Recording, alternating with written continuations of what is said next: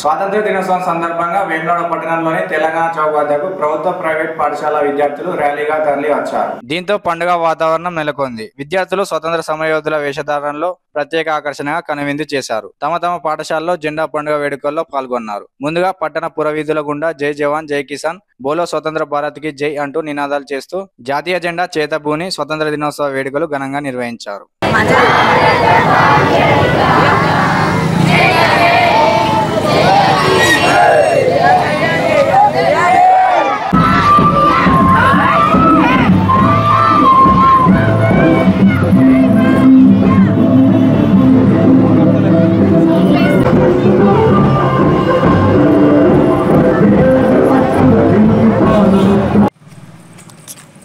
अच्छा ना चलते वा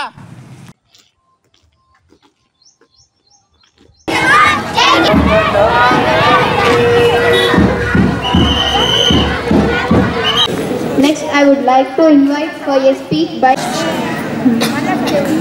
Megha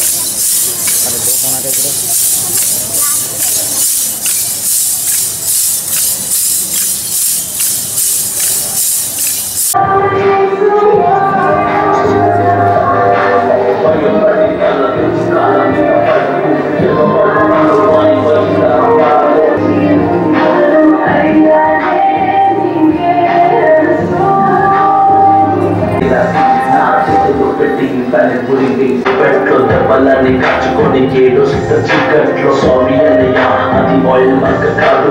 సిగరెట్ అని చెరుకు కూడా నవ్వుకొని దాచానురా అమెరికా సంబంధం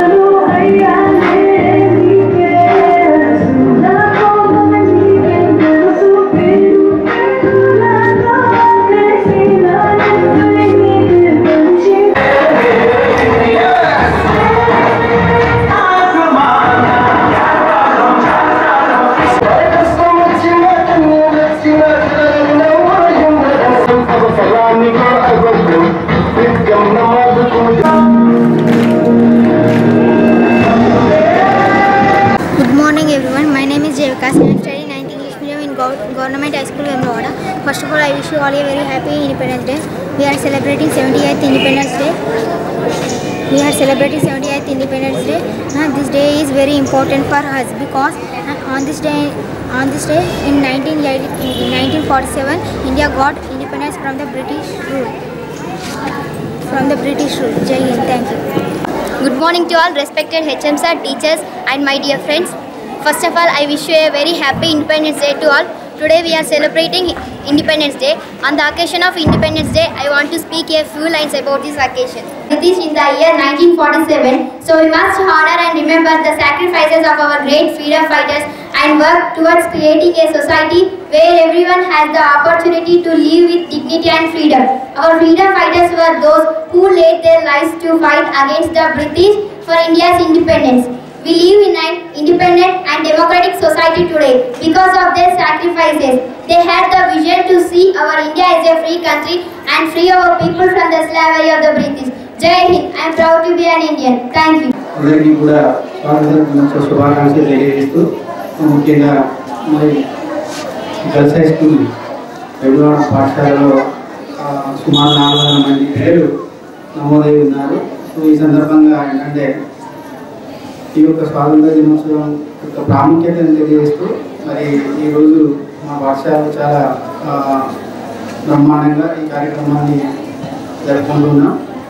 సో నిన్న పాఠశాలలో ఉన్నటువంటి పిల్లలందరూ కూడా మరి మిగతా ప్రజాప్రతినిధులు కావచ్చు తర్వాత పేరెంట్స్ ముఖ్యంగా అన్ని విషయాల్లో వారిని ఇన్వాల్వ్ చేస్తూ పాఠశాల ప్రతి కార్యక్రమంలో పిల్లల యొక్క ఇన్వాల్వ్మెంట్ను కల్పించుకుంటూ పాఠశాలను ఇంకా ముందుకు తీసుకెళ్ళడానికి మా ఉపాధ్యాయ బృందం ప్రతి ఒక్కరు కూడా వారి యొక్క శాశక్తుల వారి యొక్క అనుభవాన్ని కూడా మరి జోడిస్తూ పిల్లలందరికీ కూడా ముందుకు తీసుకెళ్ళడానికి మా పాఠశాల ప్రయత్నం చేస్తూ ఉంది. కాబట్టి ప్రభుత్వం ప్రభుత్వం యొక్క లక్ష్యాన్ని నెరవేర్చడానికి మేమంతా కూడా ఒక టీం వర్క్గా పనిచేస్తూ ఉన్నాం. మరి కార్యక్రమాన్ని ఇంకా డెవలప్ చేయడానికి అందరూ కూడా సహకరించాలని చెప్పి కోరుతూ కోరుతున్నాను థ్యాంక్ యూ